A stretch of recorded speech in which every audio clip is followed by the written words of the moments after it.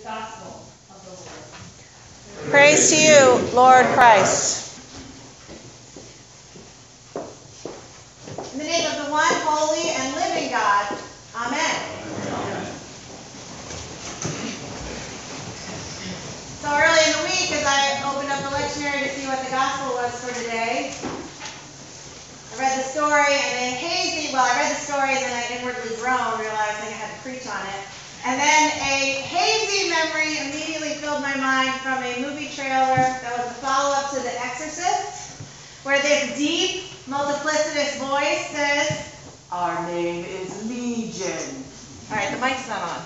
Can you turn the mic on? You gotta flip this switch. To the right, Gilbert, right in front of you. There you go. Our name is Legion. I don't know, it doesn't work right. There's a junior warden in the house, I'm not gonna worry about it.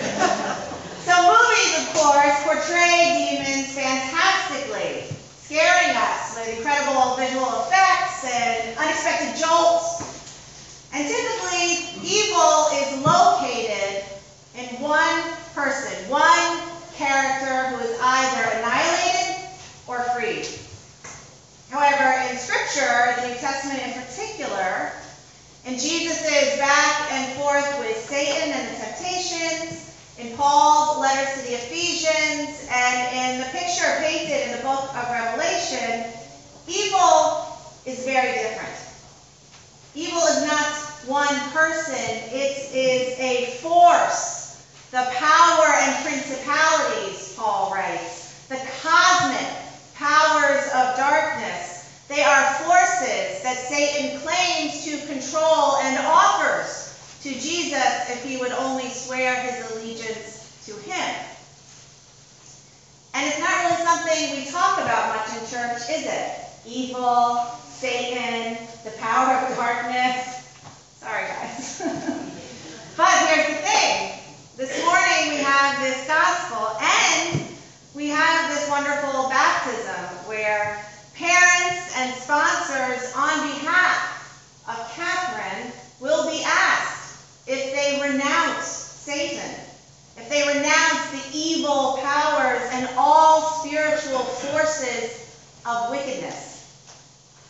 And sadly, in our world, we know all too well evil and the spiritual forces of wickedness. That in more than one tragedy this week, we see people violently enact the forces of hate and terrorism by cutting short the lives of God's beloved people.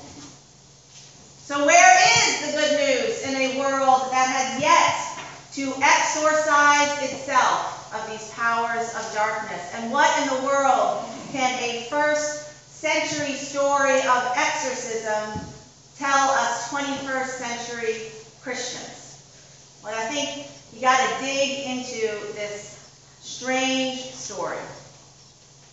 So Jesus didn't just happen upon this guy in his travels. In fact, it looks as though he sailed across the Sea of Galilee specifically to save this man from his illness. Now, you all remember the story of Jesus calming the storm, right? You all know that story. Well, that just happened. He and the disciples had been hanging out on the other shore in Galilee, fishing, talking, I don't know, when all of a sudden Jesus said, Hey guys, let's get in that boat and go across to the other side. Now, it's called the Sea of Galilee because it is a really big lake, 8 to 10 miles wide. And it also was a definitive dividing line between the Jewish territory of Galilee and the Gentile, Greek-speaking world in Gerasene. And there is no reason for us to think that the disciples wanted to make that journey, but Jesus needed them.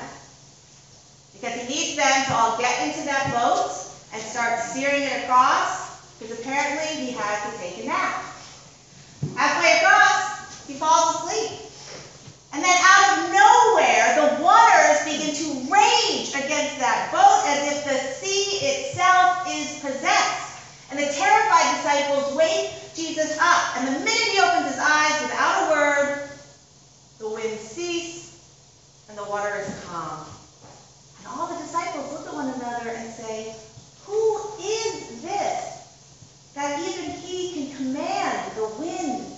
water to obey him? The disciples ask that question, but they don't have an answer. However, the minute they step foot on that rocky shore, the tormented man does. He confronts Jesus and the disciples immediately and says, What have you to do with me, Jesus, Son of the Most High God? He knows exactly who Jesus is why he's come. So it's almost as if the cosmic forces really tried to keep Jesus and those disciples from getting to that other side. They tried to whip up the storm and scare them into turning around and going back, but they don't. And as often happens in the gospel, which is a good reminder for us, evil has no trouble naming the saving power that will cast out darkness and bring in light. When Jesus asks the man his name, however, all he says is legion.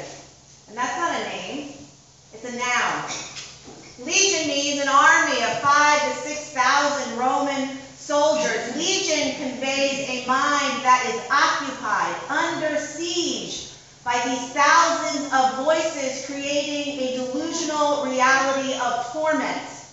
A torment that has been made worse by being cast out to live naked, ashamed, abandoned among the dead.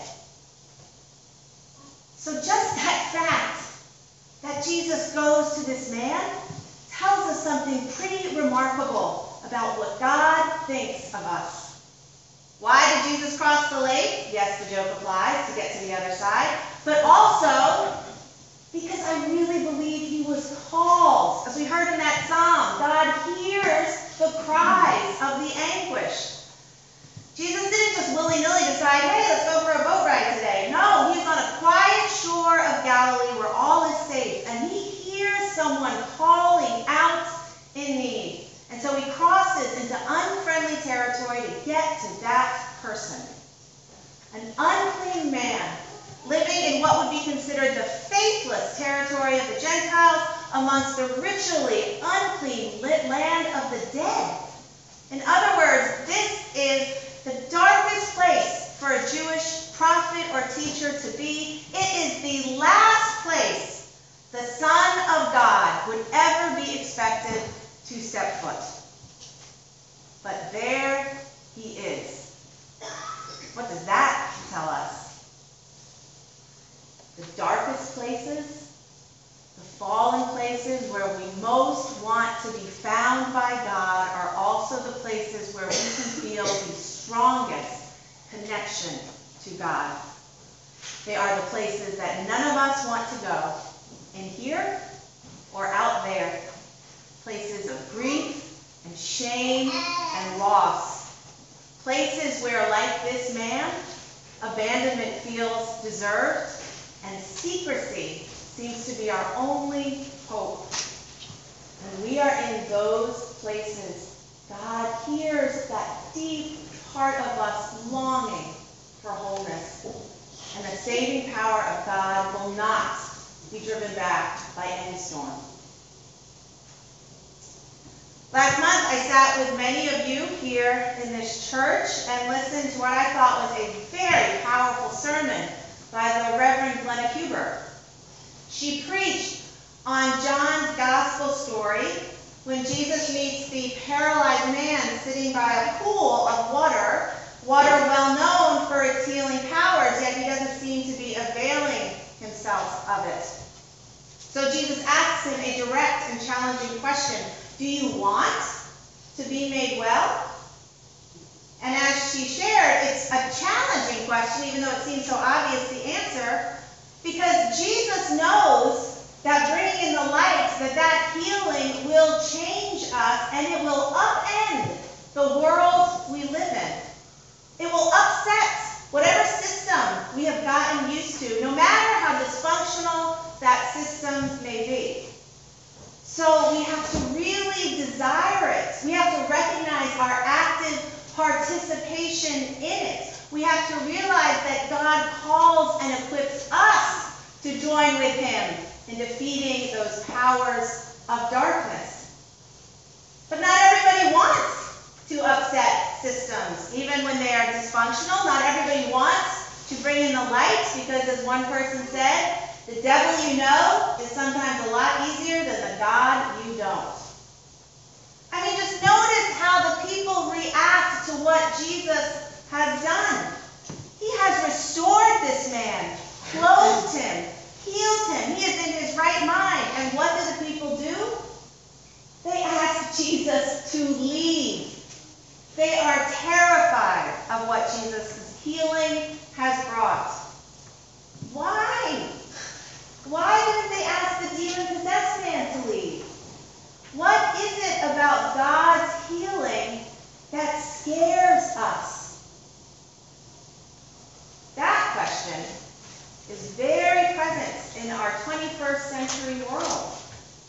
What is it that scares us from changing what needs to change? As one late night talk show commentator said this week, quote, it's as if there is a national script we have all learned, and by accepting this script, we tacitly accept that the script will end the same way every time with nothing changing, except for the loved ones and the families of the victims, for whom nothing will ever be the same. When those first century people experienced a power on earth among them that restores a person and their community, it challenges that system they've been living in.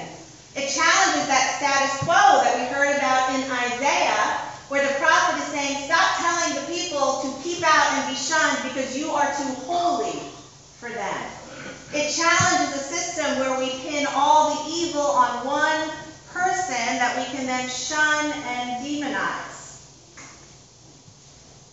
Jesus shows that community change is possible. Jesus upends an accepted structure of their society, which is exactly why they want him to go. And they can't unsee what they saw, and they're going to keep hearing about it because Jesus tells the man who wants to be with him, no, you can't. You are now called to share the good news of God. Stay here and tell the people how God reached out to the lowest of the low. Tell the world how love saved you. Now, I'm not going to ask us to sing it. Kind of wish I had requested it, but y'all know the hymn, A Mighty Fortress is Our God, right? Y'all got that tune right there? So it's the music is obviously Bach, the words are Martin Luther. And the third verse says this. And though this world with devils filled should threaten to undo us, we will not fear, for God hath willed his truth to triumph through us. The prince of darkness grim, we tremble not for him. His rage we can endure, for lo, his doom is sure. One little word shall fell him. What's the little word? I learned this week. Baptizatus sum. I am baptized. That is the love that has saved all of us. That's what we will watch symbolically today as Catherine is baptized into Christ, as Paul said, that dressing gown represents literally clothed with the armor of light. That is God's claim on all of us all the time. And when you deeply believe you are worthy of that love and belonging, you have power within yourself to reach out and share that good news that you cannot believe you have. That is the basis of our hope. That is the faith we have which helps us to believe in that which we cannot see. That is what enables us to partner with God in the ways each of us are called to overcome the darkness and bring in the light.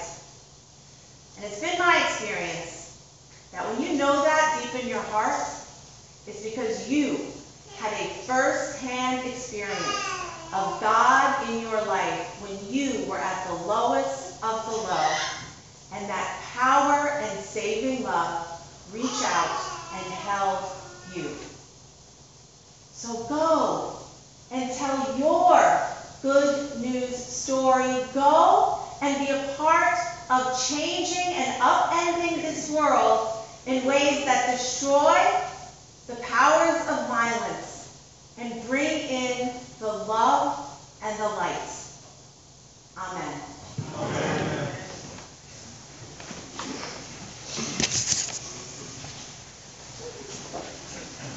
I would invite